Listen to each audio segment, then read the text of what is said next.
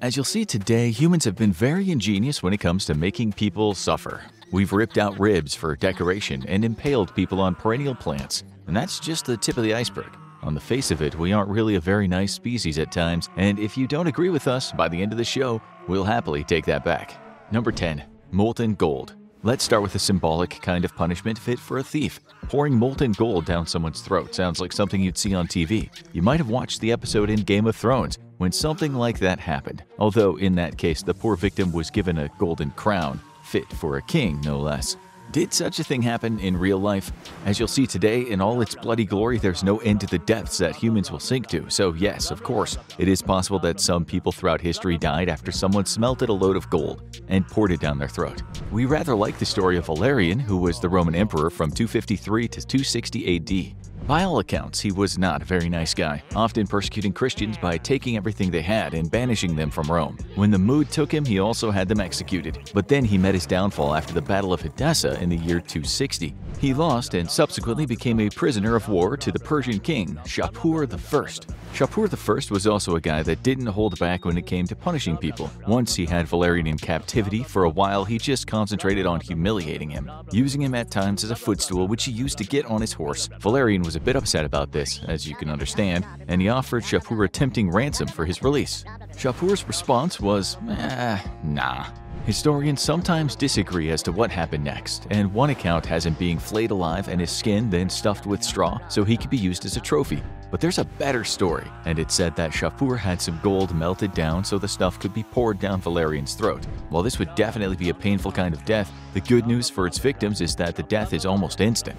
You don't swallow the stuff and think, ow, that's hot. Rather, your organs are immediately ruptured and you die due to pulmonary dysfunction and shock. The gold would take about 10 seconds to congeal, so even if you somehow lasted that long, your airways would be blocked. That's what might happen to the ever-greedy Marcus Licinius Crassus, the richest man in Rome who was famous for being part of that first triumvirate with the great Julius Caesar and the warmongering man we now call Pompey the Great. Crassus, not the best of the three when it came to war, lost a battle with the Parthians, and because he was so greedy, they gave him the molten gold treatment. But we can't talk about his punishment without mentioning the Spanish conquistadors, who, as you know, went over to South America and back in the day, stealing as much gold as they could. If anyone deserved the molten gold death, it was those guys. There's a great story published in the National Library of Medicine that discusses the death of a Spanish governor in Ecuador back in 1599.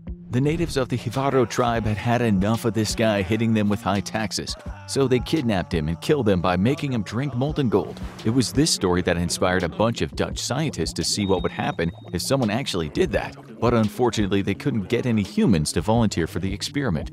Instead, they used a cow, a dead cow, and indeed, they said the cause of death would have been from ruptured organs. As we said, it would have been over very quickly, but this next death would have been slow and very, very painful. Number 9 the spiked hare. As you probably heard, torture was very a la mode in Europe during the Middle Ages. Everyone got up to it, either as a form of getting a person to spill the beans, often where there were no beans to spill, or as a means of frightening people so they'd think twice about committing the same kind of crime. Usually the punishments were performed in public squares on market days. They were big events, rather like a heavyweight boxing match in today's times. Historians say people would travel for miles not just to see some blood being spilled, but also to sell their wares. Sometimes the event was the punishment of a witch, which happened to thousands of women back then. The condemned woman would be taken from town to town over a period of weeks. As we said, these events were big money spinners. One of the punishments was called the spiked hare. It basically involved a tool that looks similar to those devices that makes little holes in your lawn. The reason it got the name spiked hare is that when the torturer was done, the victim would look a bit like a hare that's about to be roasted. The torture was said to have been quite popular in Germany, at least until Frederick the Great banned it in 1740. If you visit the museums there today, you'll find a few of the rollers still in existence. With enough rolling up and down someone's back, people would admit to almost anything. Ouch, ouch, ouch, ouch, ouch, okay, I turned my husband into a cat. Something like that. It's not mentioned in too many stories, just likely because, in terms of punishment, this one was mostly used on regular folks, not powerful people or outright maniacs. In the 1767 dictionary written by a German guy named Johann Theodor Jablonski, he described it like this. It's a roller with small pointed pegs stuck around it. This is placed under the patient's back when he's stretched out on the bench and pulled back and forth. It may not have caused instant death like having gold forced down your throat, but it did tear a person's flesh to pieces. Not only would it have been very painful, but at the time and after, the victim would likely have died from an infection. Now let's head over to China, where slow deaths were all the rage. Number 8. The Kang This punishment was really common, although it didn't always end in death. It doesn't sound too bad at first, though. Imagine you had committed a transgression. The authorities wanted to make an example out of you and leave you with a mark of shame, something which was not unusual in the past. The Europeans would often use branding, so a thief would get a T branded on his face. The Chinese had the kang, right up until the 20th century, too. It was a wooden board fastened around someone's neck, usually with the crime they committed written onto the board. So when they went into public, they couldn't exactly blend into the crowd. If their crime wasn't a very severe one, they might have only worn the kang for a day or two. And if people felt a bit sorry for them, they might have given them water or food. Remember that the board was so big a person couldn't get their hands to their mouth. If people didn't bother helping, they slowly died in shame, and this was not uncommon. There was an even worse punishment, though, kind of connected to the kang. It happened to Chinese rebels in the year 1900. They were put inside a box with their neck fastened to some wood while they balanced on pegs. Each day the pegs were lowered a bit, so they died slowly from hanging. As you'll now see, for China, that was kind of tame. Number 7. The Waist Chop Back when we were little, many of us used to love watching magic tricks, especially the ones where people were cut in half. Or at least you were supposed to think they were. But what would happen if that wasn't a magic trick, but a torture method instead? Waist chopping first became a thing in China during the Zhou dynasty, from 1046 BC to 256 BC. Though there are a lot of stories of it happening right up until the 18th century, they even had a word for it, Zhan. It was supposed to be very slow and painful, although Chinese historians tell us that sometimes the victim was able to pay the executioner to either stab them somewhere fatal first, or at least pay to buy some kind of pain relief. The more cash you had, the less painful being tortured was. If the procedure started at the waist, as it usually did, it could go on for a long time before the person was dead. In fact, there's a story about an education administrator named Yu Hongtu who in 1734 went to the chopping block for giving the answers away to exam questions. The executioner took his time, and so Hongtu was able to use his blood to wipe the words miserable, cruel, and awful on the floor. Historians say that during this era sawing someone in half replaced cooking someone to death, as a form of punishment. We're not quite sure which one we'd prefer.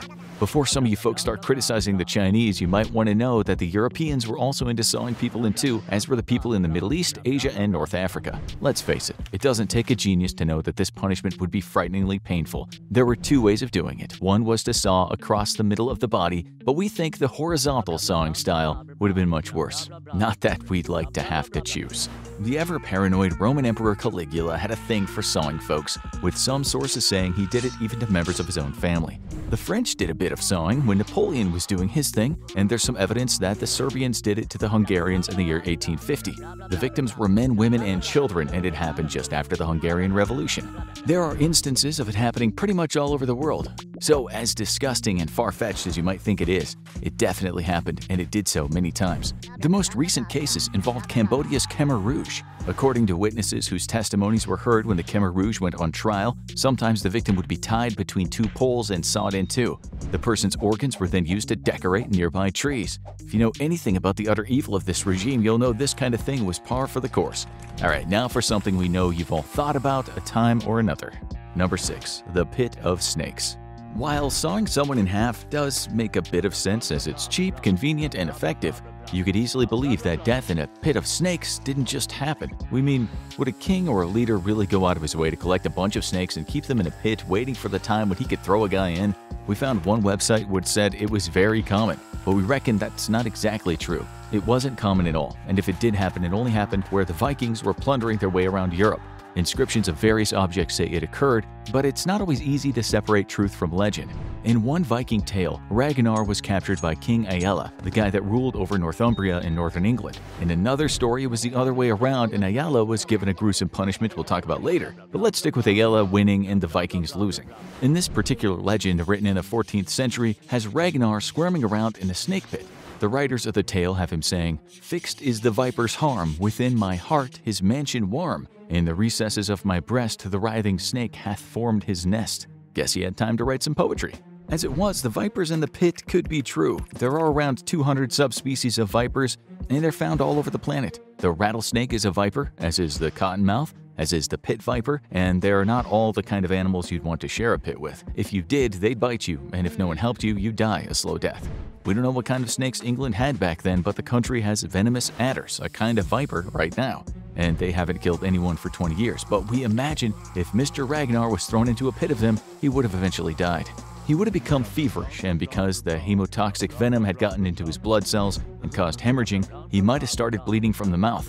If the English had such a thing as a death certificate in those days, it would have said cause of death, extensive internal bleeding. We'll come back to the Vikings and arguably their most gruesome punishment, but let's stay with the evil English for now. Number 5. The Gibbet. So picture this. It's the 1700s and you're just a regular guy living in a bustling city, London. You decide to go out for a walk with your wife and your 12-year-old kid, and as you stroll along the pathway next to the River Thames, occasionally praising the summer warmth and lush green views, a disgusting smell suddenly hits you.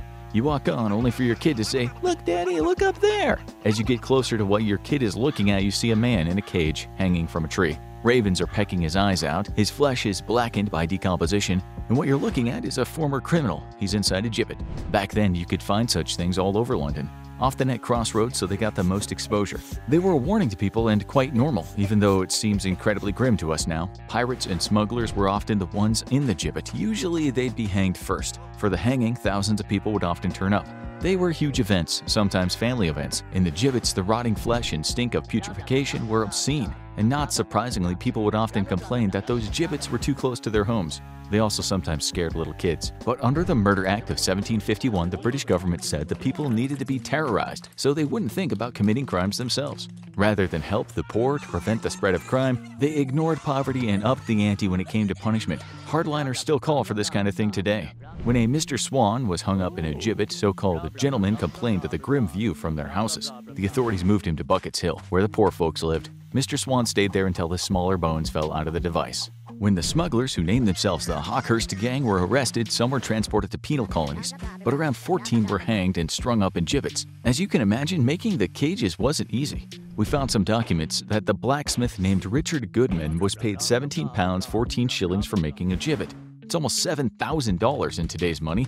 In another document, the authorities wrote about one condemned man, saying his head was shaved and tarred to preserve it from the action of the weather and the cap in which he had suffered was drawn over his face. On Saturday afternoon, his body, attired as at the time of his execution, having been firmly fixed in the irons necessary to keep the limbs together, was carried to the place of its intended suspension. Women weren't usually gibbeted, not because they didn't commit crimes, but because it was seen as rude to have a woman high up, where people might catch a glimpse of her rotting private parts. A flash of dirty panties was deemed to be more impolite back then than putting a rotting corpse in a cage for the kids to see. Go figure.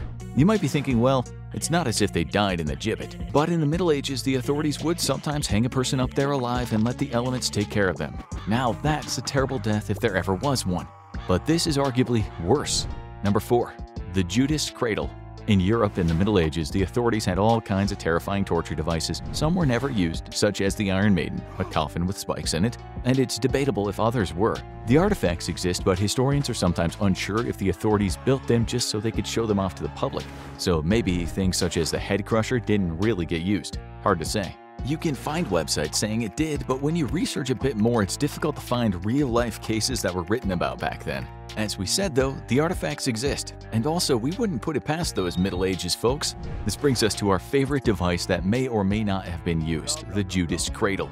It was basically a sharp pyramid stuck to the top of a chair. The person who was being interrogated would be forced to sit on the point, which we imagine would be slightly uncomfortable. But if the person wasn't talking, they'd have weights connected to their legs. The pyramid was also greased, allowing the weights to do much more damage. After a while, the internal injuries caused by the device became catastrophic. It was a horrible way to die. Today, there are plenty of these devices in museums all over Europe, and there is no shortage of sketches of people being tortured on such chairs. Some sources say they were involved in the 16th century in Spain as a means of getting people to confess during the Inquisitions, but we're not sure that's true. The Spanish had laws about torture, and they usually kept a really good record of what went down during interrogations. Nothing in those records talk about a Judas chair. If they did use it, the outcome was never good for the victim. They'd have been split and maimed, and even if they did survive, they more than likely would die from an infection. In conclusion, since people back then were ripped in pieces, boiled alive, or had their skin peeled off, all backed up by plenty of evidence, we're going to say the Judas chair may well have been used on more than a few occasions. Let's now get to a modern torture method that we are 100% sure led to many people's demise. Number 3. Tiger Cage during the Vietnam War, some U.S. politicians went to South Vietnam to see what the Vietnamese on their side were doing to their prisoners. Photographs weren't ever supposed to get back to the U.S. public, but they did, and they revealed that lots of prisoners were kept in tiger cages. Assisting the congressman that day was a guy named Don Luce, and throughout his later life, he talked about torture and the fact that the Americans didn't just turn a blind eye to it, but actually spent a ton of money on contracts to make tiger cages, American made tiger cages. Once the victims were thrown down into the cages, the hot sun would shine on them all day long. Their captors would throw lime on them just to make them itch and feel really uncomfortable. Sometimes they were beaten first. Some of them, merely student activists, died down there or were crippled during the beatings. Even a Buddhist monk died in a tiger cage. This wasn't a good look for the US. In 1970, the New York Times ran the headline Saigon is investigating tiger cage cells at prison. Thousands of people said the report were tortured this way. The cages weren't all the same either, with some of them looking like coffins, big enough for only one person. One of the victims of these cages later said they put us in the tiger cages and when I came to my senses I thought I fell into hell because the cage was the shape of a coffin. This could lead to a slow and horrible death. The bloodied person would just lay there all day in his or her cage under the sun. Ants and sometimes snakes and centipedes could get in there with them. A Vietnamese museum later said thousands of prisoners died in the prison because they couldn't stand the tortures. This particular prison was built with American money and influenced by the CIA. As Mr. Luce said, the U.S. paid the salaries of the torturers, taught them new methods, and turned suspects over to the police. After telling everyone about what was really going on, he had to get out of Vietnam for fear of his life. That straw that broke the camel's back was waking up one day to find someone had put a deadly two-step snake in his bed. So yeah, torture isn't just from the Middle Ages and ancient times. This one is also modern, but it belongs to another age, and it's frankly disgusting. Number 2. Bamboo Torture in the 19th century, when the British were helping the Siamese, or Thai, during the Siamese invasion of Kedah, a British Navy admiral and explorer named Sherard Osborne was present. He wrote down some of the things that he saw and turned them into a book that critics now say is culturally important. That's because not many Western people were writing books about Southeast Asia back in those days. Osborne talked about one of the most macabre things he'd ever seen in his life. It involved some Siamese soldiers, some Malay victims, bamboo shoots, and what he referred to as formidable lances. He said he'd seen the natives cook people to death, but what they did with a shoot of bamboo was nothing short of evil. In his own words, talking about the bamboo, he explained its lance-like point should enter his body and bring on mortification and death by piercing the intestines. In short, a slow mode of impaling. That's right, this guy was forced to sit on a bamboo shoot and the shoot grew through his butthole and headed toward his intestines. This created possibly the slowest, scariest, and most painful way to die. It's mentioned by another Brit from back then who talked about it in his book Journey Across the Peninsula of India from Madras to Bombay. Yeah, the Indians got down with bamboo torture too, as did the Chinese, but it's the Japanese who did it last, or supposedly did, when they made their shoots grow through the captives' butts during World War II. First of all, maybe some of you are thinking, no way that could work. Actually, it could. Bamboo is super tough. That's why so many Asian countries still use it for scaffolding. It also grows extremely fast at about 36 inches, just over 91 centimeters a day. So, as long as they could fasten the guy down, the bamboo could certainly poke through his backside and enter his insides quite quickly. Mythbusters once did a show on it and concluded it would have worked. But what about the Japanese army? If you know what they did in their dreaded Unit 731 camps, you could quite easily believe they'd have some fun with bamboo. Indeed, one book we found said great pain was inflicted on prisoners by tying them with their anus on the top of young bamboo shoots, which would pierce them as the shoots grew every day. Some historians have questioned if this actually occurred, but as you've heard, quite a few people have talked about it. In fact, the BBC once wrote tales were told by surviving prisoners and soldiers who found the mutilated bodies of their lost comrades, how the Japanese placed bamboo shoots under the tied-down Allied prisoner. This is the biggest ouch torture we reckon you can get. This next one's more of an ah torture, but thankfully it would have been over pretty quick. Number 1. The Blood Eagle the person was first brought to a ceremonial chopping block where they were laid on their stomach. The executioner then took a really sharp knife and cut through the man's back with so much pressure that he severed the rib cage. That's part 1. The ribs were pulled through his back and were stretched out so they kind of looked like wings. But as they were very bony wings, then the man's lungs were stretched over them. Voila! An eagle. A bloody eagle. By this time, of course, the man was also dead as a dodo. It sounds too bad to be true, and the only evidence is in those old Viking legends. It's mentioned in something called the Orkneyinga saga from the 13th century. In this story, a guy named Harold I Fairhair, the first king of Norway, goes up to the rugged islands of what's now northern Scotland, and he gives the locals a hard time, as the Vikings were apt to do. It was on the island of Orkney that Harold's son, Halfdan Longleg, was executed because he'd taken out some Viking nobility. His death wasn't just about revenge, it was also about sacrificing Mr. Longleg to the god Odin. Here are some actual texts from the saga in translation. Earl Einar went up to Halfdan and cut the blood eagle on his back, in this fashion that he thrust his sword into his chest by the backbone and severed all the ribs down to the loins, and then pulled out the lungs, and that was Halfdan's death. Another case involved a formidable Viking warrior named Ivar the Boneless. Boneless, some historians say, wasn't related to a lack of courage or disability, but the fact that his John Thomas didn't always rise to the occasion. It's a long story, but do you remember the English king we talked about earlier, Aella, of Snake Pit fame? Well, Mr. Boneless outsmarted the king and captured him. Only the very worst punishment would do, so they gave him the Blood Eagle. The text in the saga reads, And Ivar, the one who dwelt at York, had Aella's back cut with a Blood Eagle. Were the Vikings making this up? Possibly, but they were a rough bunch from time to time, so we'll give them the benefit of a doubt. Now you need to watch the worst amusement park ride disasters, or have a look at this gruesome video, Why Escalator Accident is the Worst Way to Die.